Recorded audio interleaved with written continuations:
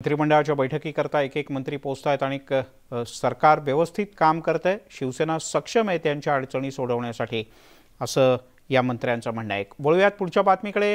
राज्यातले विरोधी पक्षनेते आणि भाजपचे ज्येष्ठ नेते देवेंद्र फडणवीस हे दिल्लीत पोहोचलेत आणि ते पक्षाचे अध्यक्ष जे पी नड्डा यांच्या भेटीसाठी पोहोचल्याचं कळतं. राज्यातल्या विविध राजकीय घडामोडींवर भाजपचे राष्ट्रीय अध्यक्ष जे पी नड्डा आणि देवेंद्र फडणवीस यांच्यात दिल्लीमध्ये जोरदार खलबतं. प्रशांत लीला रामदास आपले दिल्लीचे प्रतिनिधी आपल्यासोबत आहेत.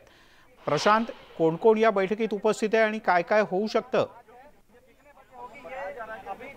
मिलिंद अत्यंत महत्वाचं म्हणजे राज्याचे विरोधी पक्ष नेते देवेंद्र फडणवीस दिल्लीत पोहोचले. साधारणतः दुपारी दोन वाजते दरम्यान ते दिल्लीत पोहोचले. त्यानंतर ते अमित शहांच्या निवासस्थानी गेल्याच्या सूत्रांची माहिती आणि त्यानंतर ते आता जे पी नड्डा हे जे समोर निवासस्थान दिसतं हे भारतीय जनता पक्षाचे अध्यक्ष जे पी नड्डा यांचं आहे. आणि याच निवासस्थानात ते काही क्षणापूर्वी पोहोचलेले आहे. त्यांच्या गाडीला काळ्या काचा लागलेल्या आहे.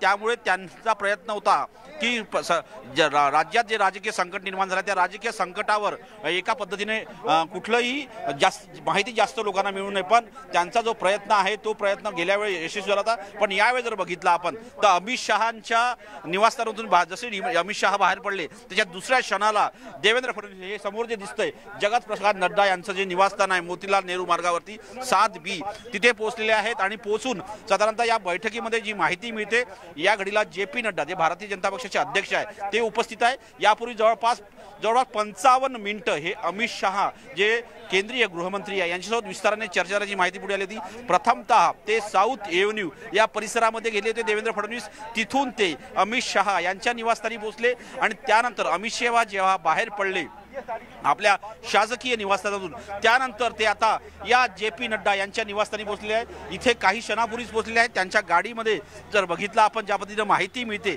या गाडीमध्ये खुद्द देवेंद्र फडणवीस हे पहिल्या सीटवर बसलेले होते आणि त्यांच्यासोबत त्यांचे इतर सहकारी होते. पण या बैठकीमध्ये जर बघितलं आपण तर या बैठकीमध्ये जे पी नड्डा आहेत आणि जे पी नड्डा आणि सोबतच इतरही भारतीय जनता पक्षाचे नेते इथे पोहोचण्याची शक्यता व्यक्त केली जात आहे. महत्त्वाचं म्हणजे जर बघितलं ज्या पद्धतीनं माहिती मिळते हे अत्यंत महत्त्वाचं आहे.